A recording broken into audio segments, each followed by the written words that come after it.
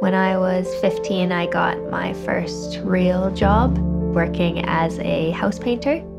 I got to work one morning, it was a beautiful day. I had decided to skip breakfast that morning, and I told the other painter that I was working with that I wanted to do the high work up on the ladder. So that meant I was two stories up on that ladder. I had been working for maybe five minutes when suddenly I felt faint. And next thing I knew, I woke up on the ground to the sounds of screaming from the other painter who had found me. And then a CAT scan was done that showed me I had broken my neck in four places. The biggest thing that I think about the new legislation is that a 12 year old does not have the capacity to make potentially life threatening choices for themselves.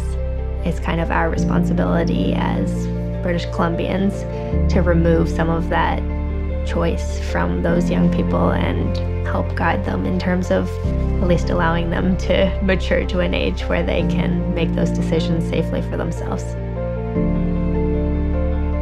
When I first saw rugby, was a little bit intimidated, I guess, in the beginning. It's full contact, so there's a lot of smashing of chairs, but also really excited about the prospect of having a sport that I could sort of dive into again and find that place to be competitive.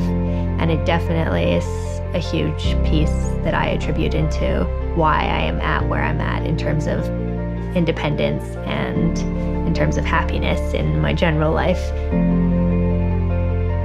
I think that there's a maturity that comes with age. So, knowing now that BC legislation is changing to raise the working age from 12 to 16 is definitely reassuring to me just to know that people are hopefully going to have just that little bit more of maturity and the ability to make those potentially life threatening decisions for themselves, I think is going to be a really great change.